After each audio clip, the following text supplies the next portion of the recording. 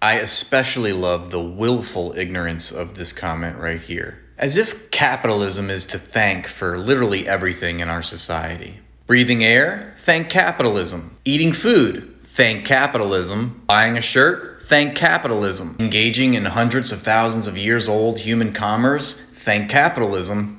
Critiquing a political and economic system that you were forced to participate in using the prevailing mode of communication in present day society to disseminate your ideas is not ironic or funny. It's literally the oldest form of human activity since humans began organizing themselves into societies.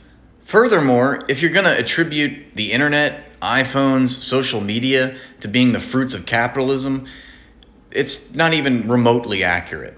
It's actually more accurate to say that socialism brought about these things because the internet, iPhone, social media were all innovated in the public sector using public funds, government research for decades and decades. This began in the 50s, almost 30 years before Apple was even founded in 1977.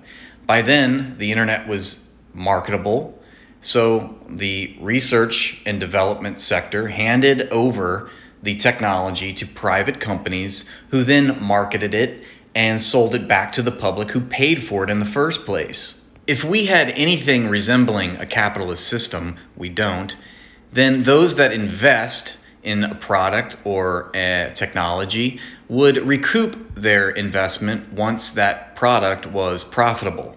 But instead, it goes to Jeff Bezos, it goes to Steve Jobs, it goes to Bill Gates, who become the richest people in the world.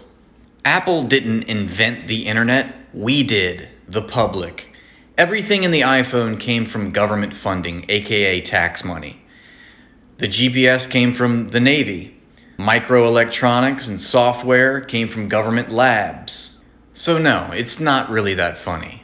I'm sure the feudal lords, when they were being beaten to death with the pitchforks that they provided to their peasants, observed this irony too.